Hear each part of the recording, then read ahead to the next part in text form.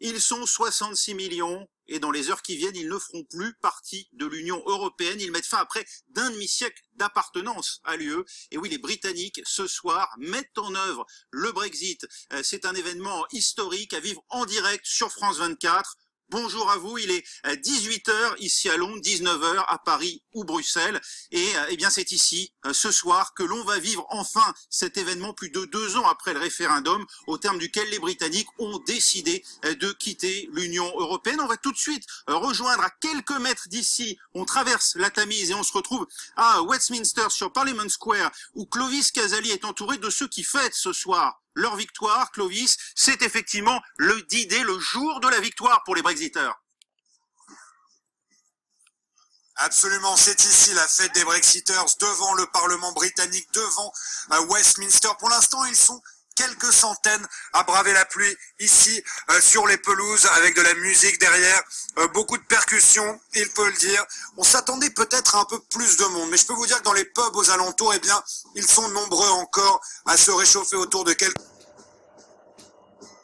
vous avez raison de parler de ce point-là, car on parle beaucoup de l'impact du Brexit sur les Britanniques, mais il va aussi affecter les centaines de milliers d'Européens qui vivent ici à Londres. Euh, nous leur avons parlé euh, tout à l'heure avec Mohamed Farhat, encore une fois, car il faut le dire, euh, la fin programmée de la liberté de circulation des marchandises et des personnes va avoir un impact sur leur vie. Pourront-ils rester? Ça n'affecte pas trop, étant donné qu'on ne sait pas trop où on va. Depuis trois ans, on nous bassine avec le Brexit, mais il n'a jamais été euh, question de mesures concrètes, donc on ne sait vraiment absolument pas où on va. Si vous êtes arrivé il y a moins de 3 ou 4 ans, on vous aide en fournissant des papiers. Si vous avez un contrat, on vous aide. Donc ça devrait aller. Mais il y a beaucoup de gens qui viennent d'arriver dans le pays. Donc c'est possible que ce soit un peu dur pour eux.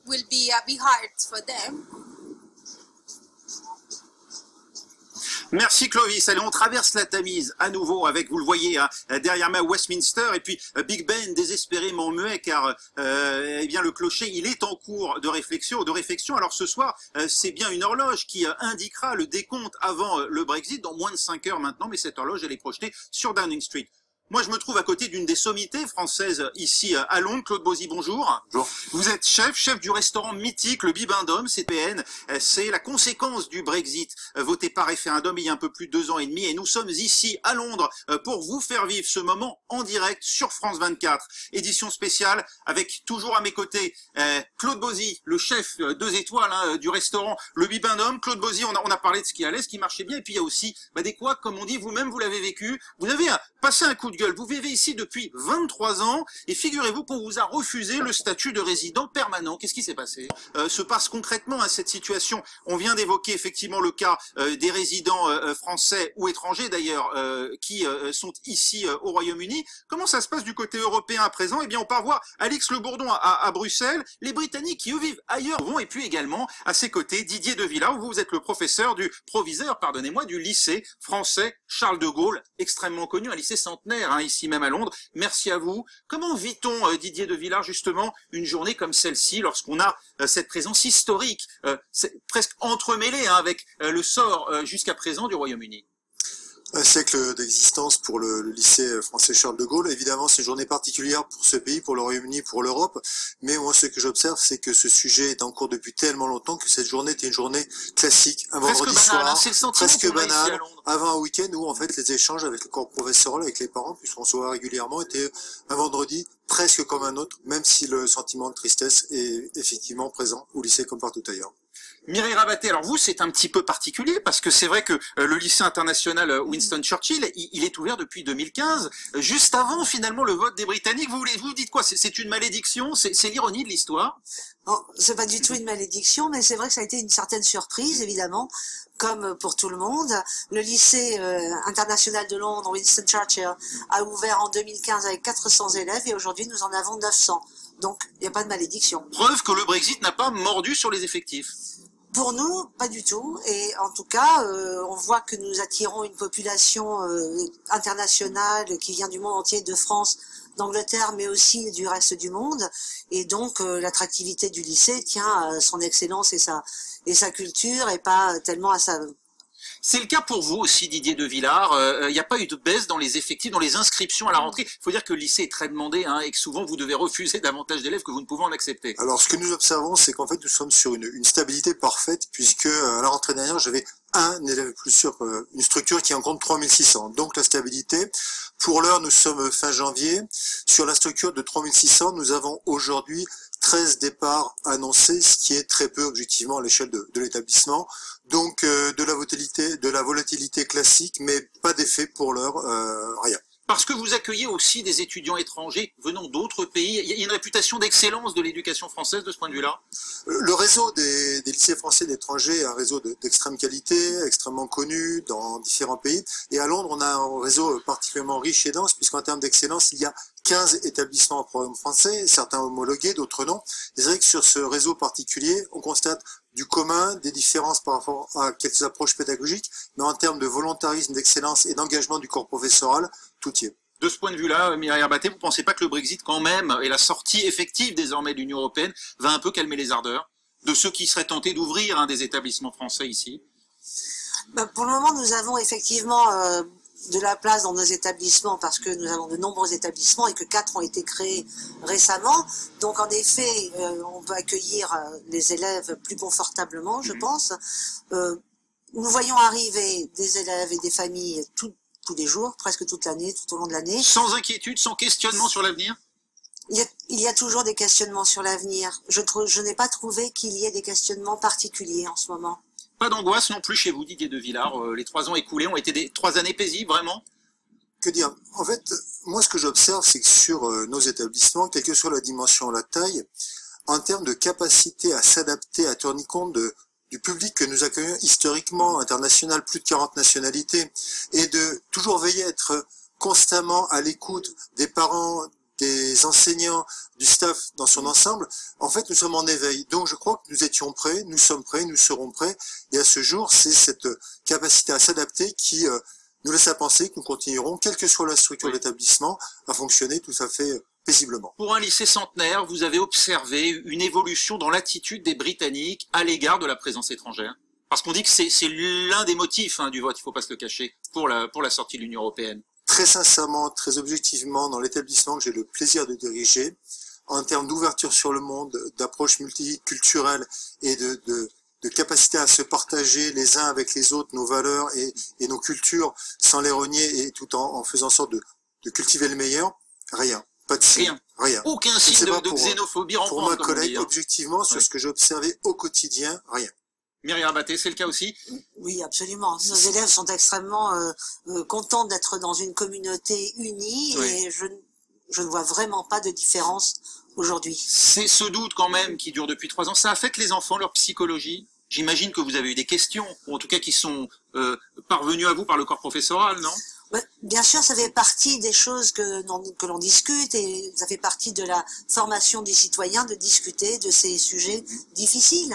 Euh, et quand on discute avec des euh, nationalités différentes et qu'on a dans la même classe des Français, des Britanniques euh, et des enfants des autres pays, ça donne un débat effectivement euh, vif et Alors justement, comment communiquez-vous sur le Brexit avec les élèves et puis avec les familles?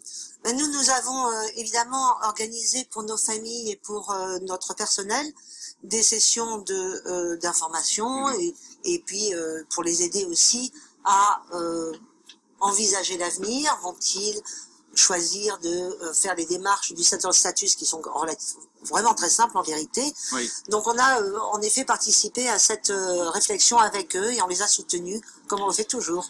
Vous aussi, Didier de Villard, vous les informez sur le settle status, c'est important. Alors, le settle status, on va peut-être expliquer d'ailleurs ce que c'est pour ceux qui nous regardent. Alors bien évidemment, c'est une procédure qui, permet aux ressortissants européens, dont nos compatriotes français, euh, quelque chose d'extrêmement simple. Il faut peut-être deux à trois minutes d'être euh, sûr et certain qu'à l'issue de cette année 2020, leurs droits seront garantis.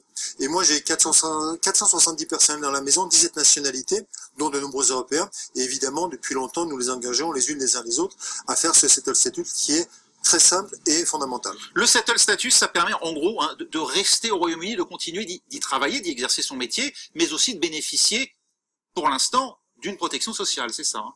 Oui, tout à fait. Et c'est pas si ça va durer. Qui le sait, les négociations, d'après ce que j'en comprends, ce n'est pas ma partie débute. Les, vous avez l'impression, vous, que les, les, les familles, les parents d'élèves sont bien informés de ce point de vue-là? Je pense qu'ils sont Parce qu'on avait juste avant nous hein, Claude Bozy, pardonnez-moi, qui euh, lui est chef hein, d'un restaurant français, euh, le Bimindome, ici à Paris, et qui nous disait, moi au début, j'ai fait une demande de citoyenneté qui a été rejetée, euh, on m'a réorienté, mais voilà, en, en gros, on sentait qu'il n'avait pas été véritablement éclairé hein, sur euh, la démarche à suivre euh, pour un résident français depuis 23 ans avec une épouse britannique. Oui, dans nos familles, il y a autant de familles qui sont là depuis longtemps que de familles qui viennent d'arriver. Ceux qui sont arrivés depuis 2016 sont arrivés en connaissance de cause, je dirais. Euh, et ceux qui sont là depuis longtemps ont des racines maintenant bien implantées. Évidemment, il y a eu beaucoup de, je trouve qu'il y a eu beaucoup quand même de d'explications, de pédagogie, euh, aussi bien de la part des, Britanniques que de la part euh, du consulat français. Et finalement, ça a beaucoup rassuré les gens. Vous dites, euh, vous, euh, Didier de Villars, le settle status, il faut le faire. Vous alertez, là, euh, ce soir, les Français qui ne l'auraient pas encore fait. euh, Alerter, je ne sais pas si le mot est juste. Ce qui est certain, c'est que euh, pour l'avoir fait moi-même, euh, la seule chose qui est assez fascinante, c'est le moment où l'objet téléphone glisse sur le passeport et qui est un petit peu particulier. Et c'est extrêmement simple et ça fonctionne. Euh, je peux garantir que c'est simple, que ça fonctionne. Et encore une fois, plus de 100 000 de nos compatriotes ont fait l'opération. Il faut encourager les autres à le faire. Et c'est peut-être le paradoxe que souligne ma, ma, ma collègue, parce que les gens installés depuis longtemps, ont peut-être attendus, euh, voir venir, et sont peut-être les plus récemment installés, qui sont plus rapidement engagés dans la chose. recruter aujourd'hui de nouveaux enseignants, c'est compliqué ou pas Avec le Royaume-Uni qui sort? Pour l'heure, objectivement, non. Je suis en pleine campagne de recrutement, et à ce jour, pas de difficulté. Tout le monde veut venir. Euh, Londres reste une ville monde et une ville très attractive et nos établissements sont encore très attractifs aussi. Merci Mireille Rabaté du bonsoir. euh, lycée international Merci. Winston Churchill et Didier euh, De Villars du lycée français Charles de Gaulle, tous les deux ici à Londres. Alors on l'évoquait, hein, de quoi l'avenir sera fait aujourd'hui, c'est toute la question qui anime bien sûr les Français ici, mais plus généralement les Britanniques, car des buts de véritables négociations, les 11 mois à venir seront cruciaux. Un au revoir, mais pas un adieu. À minuit ce vendredi, le Royaume-Uni entre dans une période de transition qui va durer jusqu'à fin 2020. Une période durant laquelle les relations resteront inchangées. Les lois européennes continueront de s'appliquer au Royaume-Uni, mais l'horloge tourne. En décembre, Boris Johnson a présenté un projet de loi qui interdit toute demande de prolongation. Il ouvre la voie un nouvel accord sur nos futures relations avec nos voisins européens, fondé sur un accord de libre-échange ambitieux, sans alignement sur les